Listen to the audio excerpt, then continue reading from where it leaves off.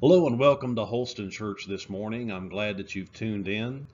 We've uh, had to cancel our in-person service, but we're thankful that we've had the opportunity to use technology in this way, that we can bring you a lesson that we believe will be encouraging and edifying for you through this week.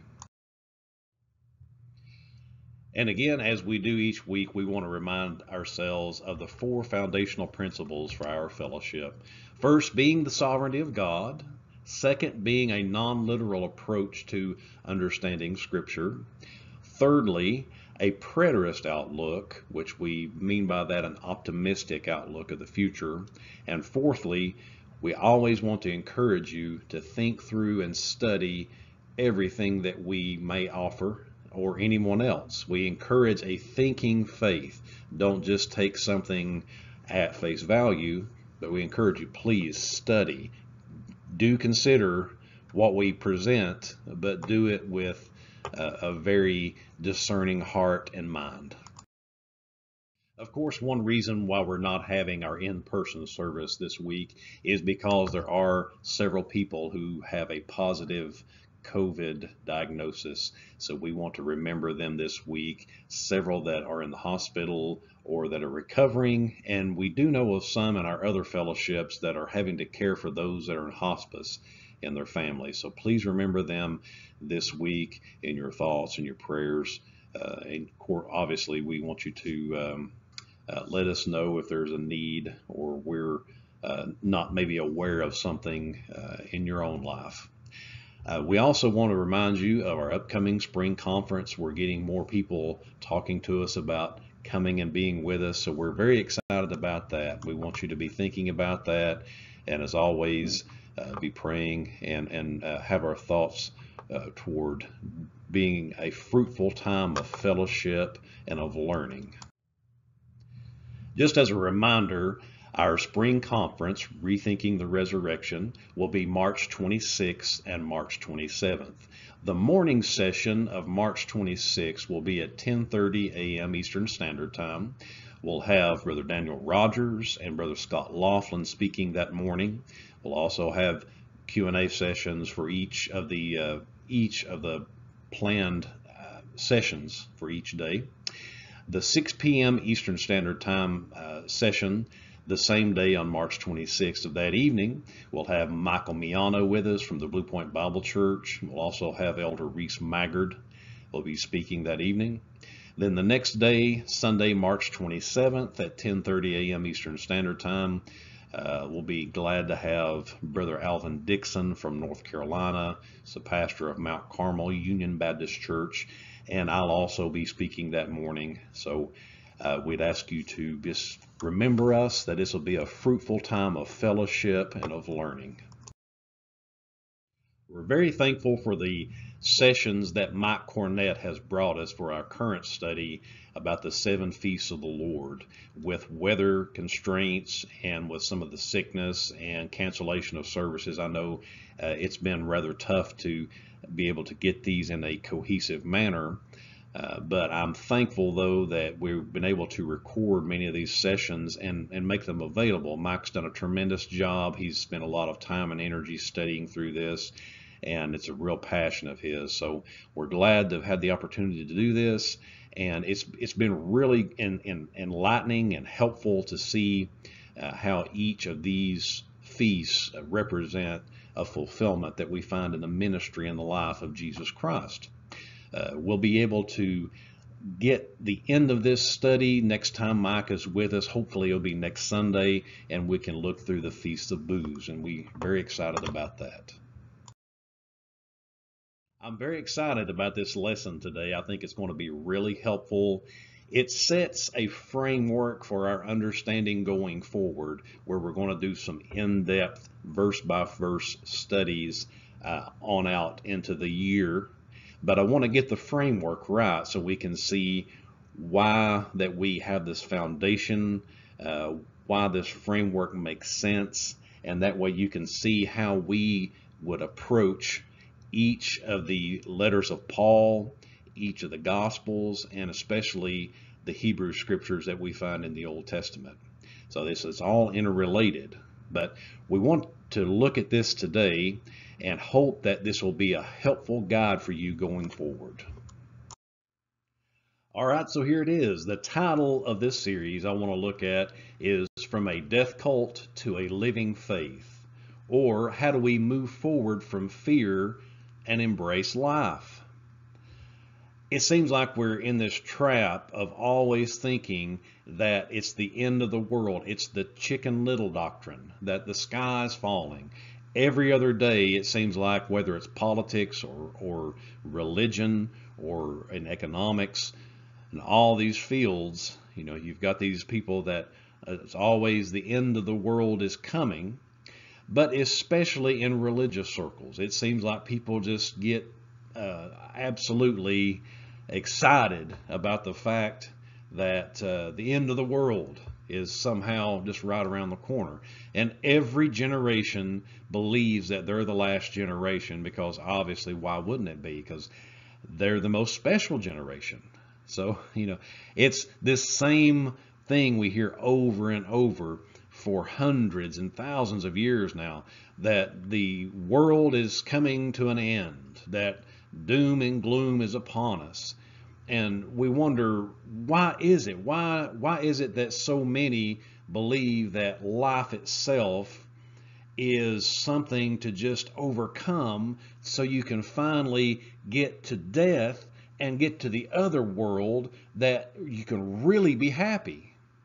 And I don't think people intentionally, consciously think in terms of that, but it's the implications of what they teach. Because what they teach is this world is not my home.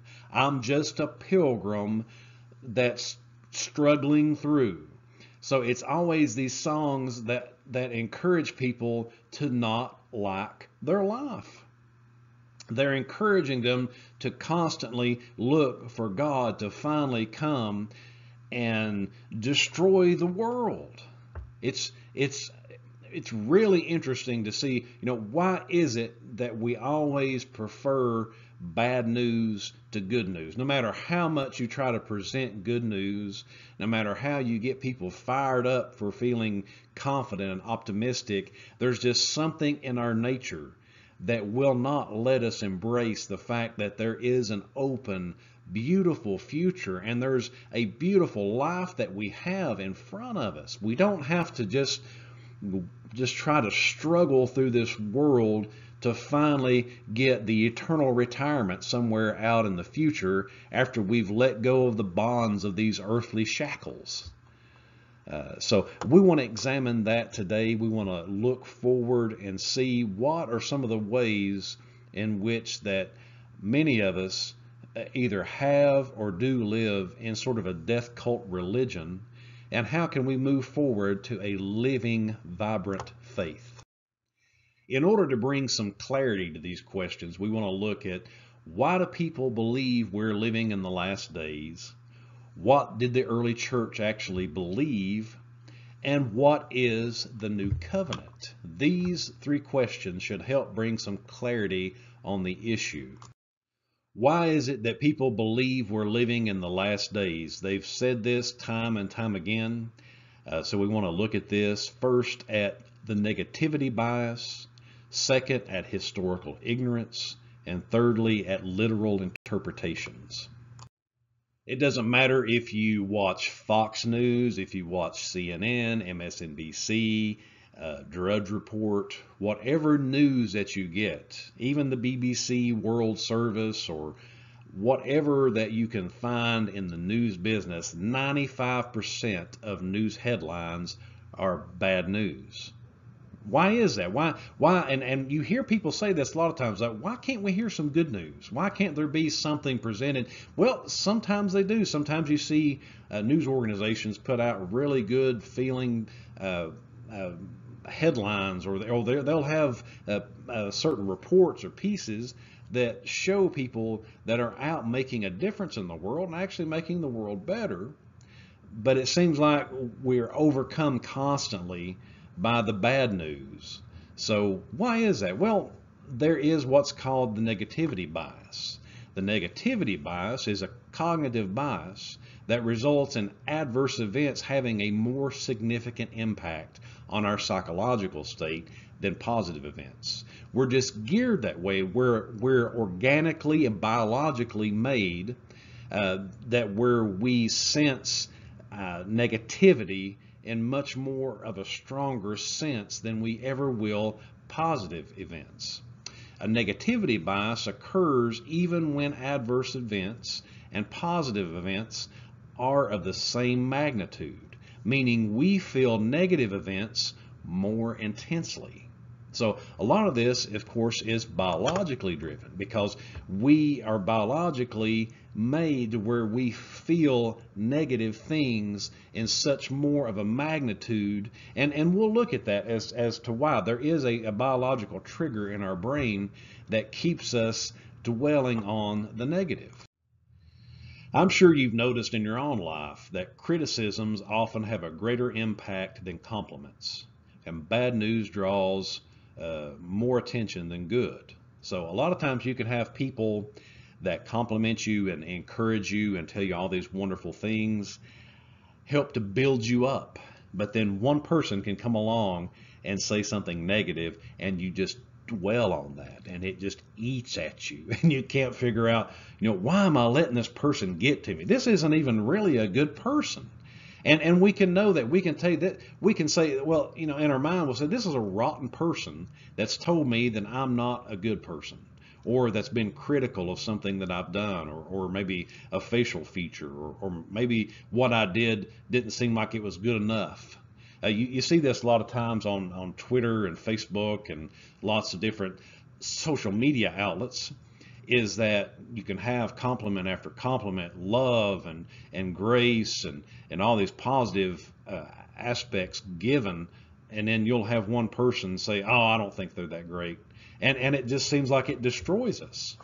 Well, the reason for this is that negative events, again, like we've said, have a greater impact on our brains than the positive ones. Cortisol is a chemical in our brain that tends to flow more freely and spurs negative thoughts. So your brain loves cortisol.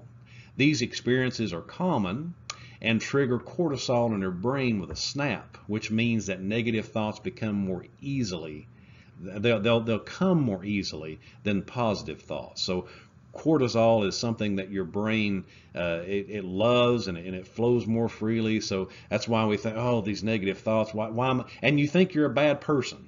You know, you think you're a horrible person because you have these uh, uh, negative thoughts or, or you're dwelling on them so much. But honestly, this is a natural part of being a human being. But the first step toward doing something about it is, of course, to have clarity and recognize this about us, to know that you're not a horrible person.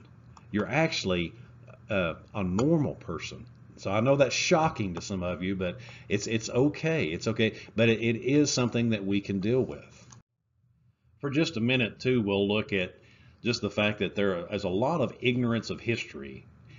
Uh, Franklin Jones once said, Nothing is more responsible for the good old days than a bad memory. Because how many times have we been told, now we didn't have that back in my day. Now, now back in my day, we respected people. Or you know, they always act like there's so everything is so much better in the past. It doesn't matter if it's religious people or politicians. They're always looking to the past and saying there was this golden era one time and somehow somebody came in and spoiled it.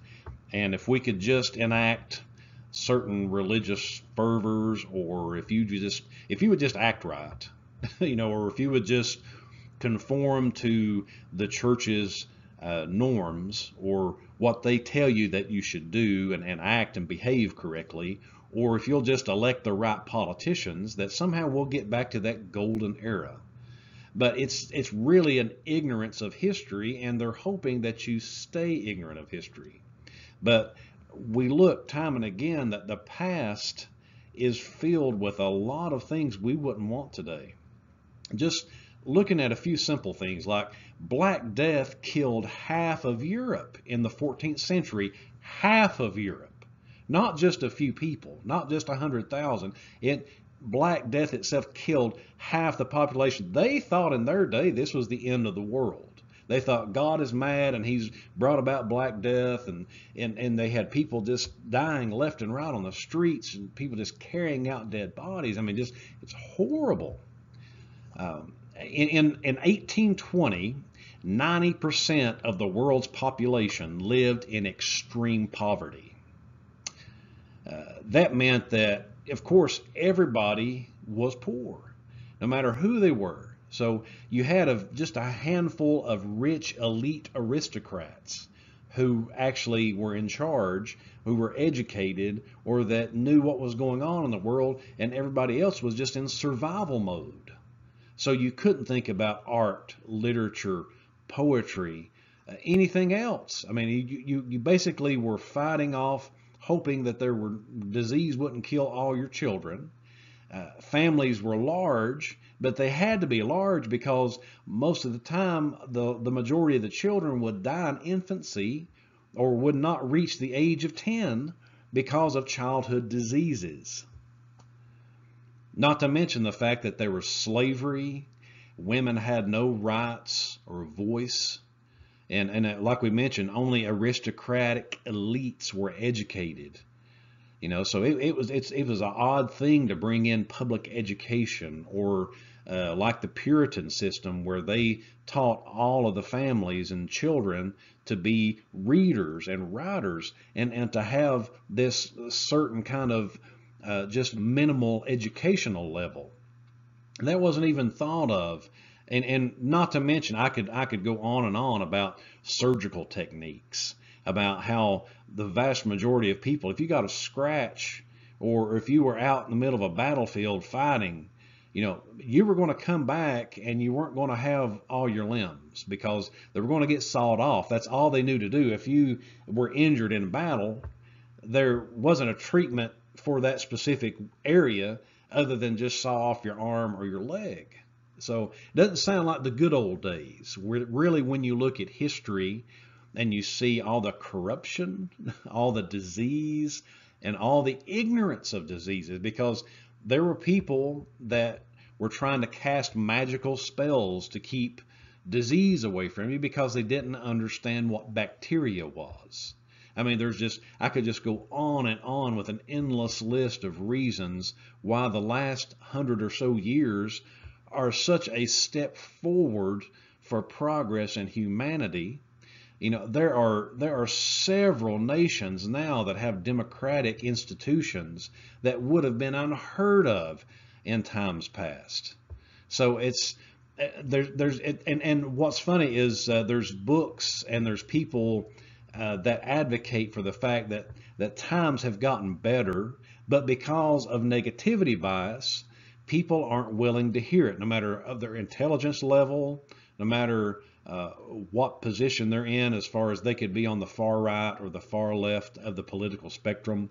Nobody wants to hear good news because again they they want to they they they love the bad news. The bad news is a bad news is a way to help to get people to move forward and to get things done but it's not the best way to do it because again this is how it's been used for centuries so there is a grand ignorance of history and, and a grand ignorance of the past in such a way that we want to ignore.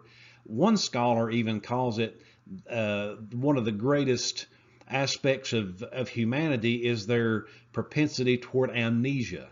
So, so they can just forget everything that went before and just uh, think that uh, we're in the worst part of history, that we think that our current political leaders are the only ones that's ever been corrupt. Or we think that our situation is the worst because we're in it and we're, I, I guess, that special. So, uh, a, a real ignorance of history can leave you thinking that, of course, you're in the worst time that you could have ever lived when uh, you can have whatever you, you can have the past all you want. Uh, I would rather live in a time where polio is uh, is eradicated, smallpox is eradicated, children aren't dying left and right because of simple uh, diseases that could be easily cured in our day. And it's nice having the fact that more people have rights and have a voice. And it may be something that irritates lots of people that don't want to hear it. But at least people can have their voice heard. And, you know, we have technology. There's so many things that have caused us to be uh, excited about the, the era and the time we live in.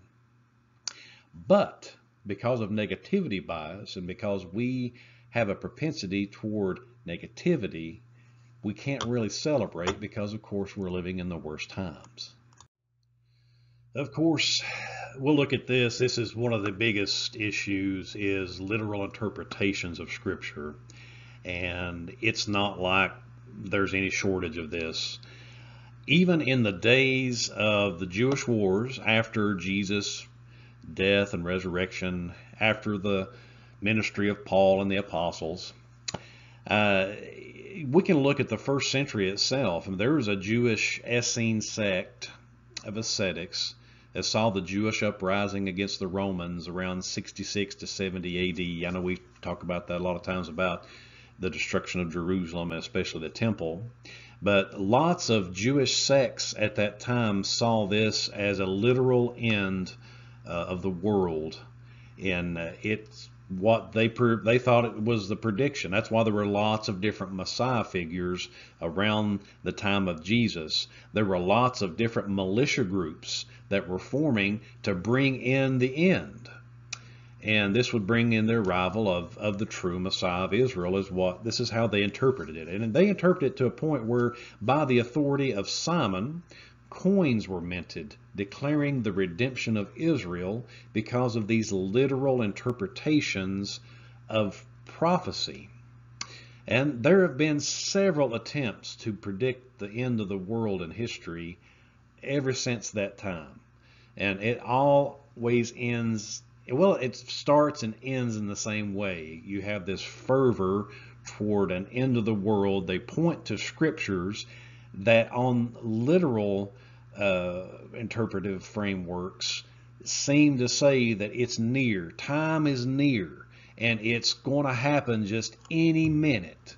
That God is going to break into history. He's going to kick butt and the children of light is going to fight with the enemies of God out here, and it's going to be this huge Armageddon. And, and you know, so there's lots of people who have interpreted this uh, as literally taking place, that the stars will literally, literally shake, that the sun will become dark and the moon will literally become blood. Uh, you know, so there there's no end to it, and we'll just look take a short look at this because I mean it, it would take hours and hours to look at all the various interpretations throughout history. I've already mentioned the uh, the Simon uh, and the Jewish Essenes in 66 and 70 AD, but they're not the only ones to look at this. Lots of early uh, groups, and we'll look at that next time that we have our lesson in part two, we'll look at what the early church believed.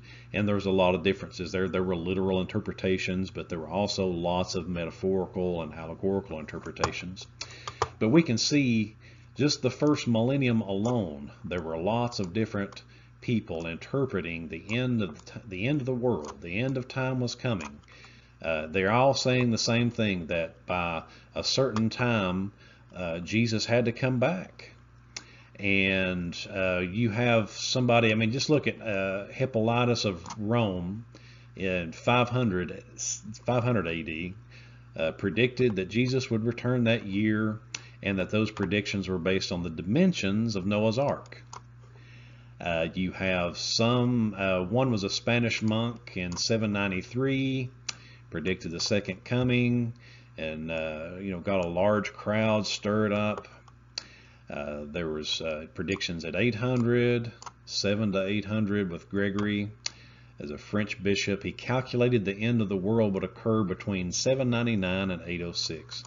We see these over and over. And, and you could see maybe the first thousand years of uh, Christian history that, you know, you got closer to the year 1000, there might be some truth to some of that if you're taking these scriptures literally.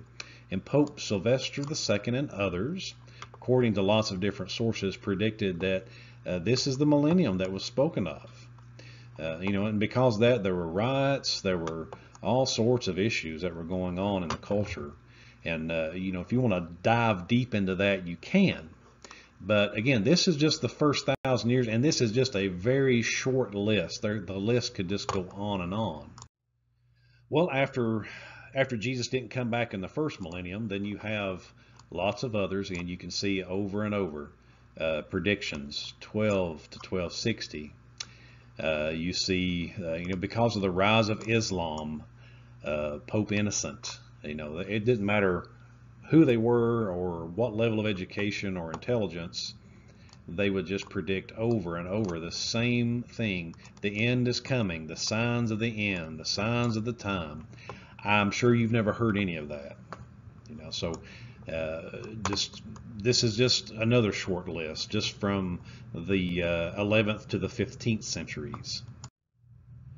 As we get closer to the Protestant Reformation, we see this same trend, this same uh, literalizing of these texts and seeing some sort of end of the world. So again, you've got uh, people predicting uh, over and over the same type of predictions. Uh, some were Anabaptists, some were Lutherans, some were in the Reformed camp. Even Martin Luther himself, Mr. Reformation, uh, you know, he was uh, the responsible for, in a large part for the German Reformation, for the Protestant Reformation in general, but especially in Germany, predicted that the end of the world would occur no later than 1600. So no one's immune from this type of thing if you look at these scriptures in a literal fashion. The pattern just keeps going over and over again. You have predictions, you have them not coming true, uh, and the world keeps going, even with all the disease and all the horrible things that are happening. Uh, people think, well, it didn't happen then. Well, it's going to happen. You know, and, and I don't want to just belabor this point, but just going over and over, this the list gets longer as as it gets closer to the 20th and 21st centuries. The list goes on and on. You can even see Cotton Mather, one of the uh, stalwarts of the Puritan movement here in early America predicted that, um, you know, on two different times, two different occasions, uh, about the end of the world. So it didn't matter if it was Calvinists, Anglicans, whoever it was, they were approaching these scriptures uh, over and over with the same sort of eyes. There was uh, people because of the bubonic plague, because of the Great Fire of London. You know, again, I don't want to go into every detail and all this. You can, if you want time to do this. There's there's volumes of books out there that examine this sort of apocalypticism where people just continually look for the same end to come but never happens. Here we have the 18th century. Uh, we've got, again, people over and over the same predictions. Uh, you know, whether here's a comet. Uh, William Whiston, who's a theologian that predicted a comet colliding with the Earth that year. Um, uh, just so it, it just becomes overwhelming after a while when you look at the data of the number of people that have looked for the end of the world. Going into the 19th century, you see more of the same. John Wesley, one of the founders of the Methodist Church, foresaw the millennium beginning that year. This was in, uh, of course, the 1800s. Uh, he interpreted and he wrote in his commentary, Revelation 12:14 referred to 1058 to 1836, and this would be the beginning of the millennium. So uh, please really reconsider the ideas of interpreting literal pass you know interpreting these passages in a literal way. It's been tried. It's been tried over and over but people don't learn from the past. A lot of times because they don't know because they're ignorant of it. They don't know that there are all these people over and over. And even people that we can look back and admire people you've probably quoted Uh, I, I, can't count the number of John Wesley quotes that are good quotes. And John Wesley, I'm not saying anything bad about it. He's a good, uh, fine person, good moral, uh, and, and, a great preacher from all accounts. But it's easy to fall victim to this in literalism. And I know you're getting tired. So that's why with 20th century predictions, it would take 20 more slides to show you everything that was predicted about the end of the world because we had this fervor of uh, you know, John Darby started uh, the whole dispensationalist framework, and then you had Scofield with his Bible and the notes in his Bible that were circulated.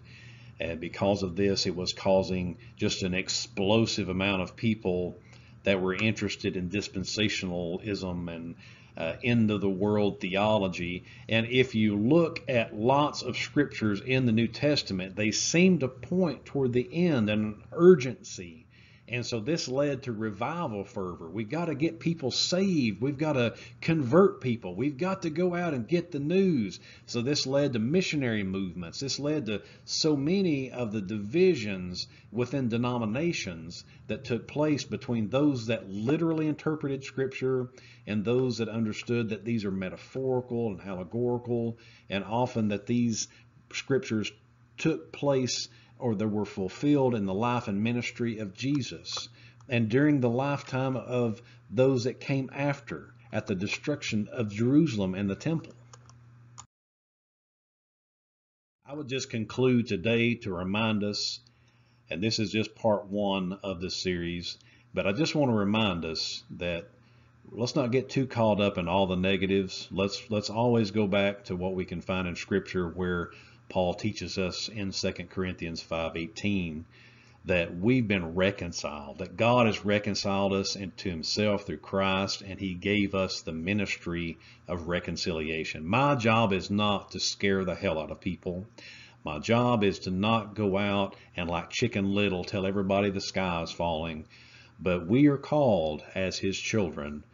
Those who have been reconciled are called that we can reconcile uh, others and that we can meet this living uh, God, this God who's the source of all life, we can worship and, and praise Him by living life to the fullest. That that's one of the greatest things that we can take away from this.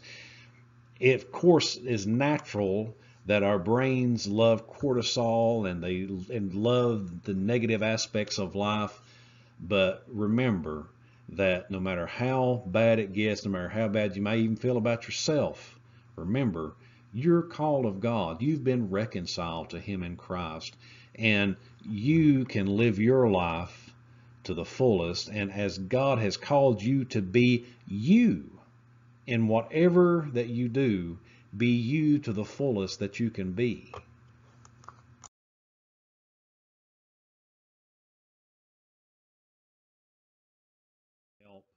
We're so thankful that each of you have let us know resources that you're wanting. We're doing our best to get those together in the next few months and get those to you. And I pray that as we go forward, that uh, you'll keep in touch with us, tune in each week, and hope that God will bless you each throughout this coming day and throughout the week.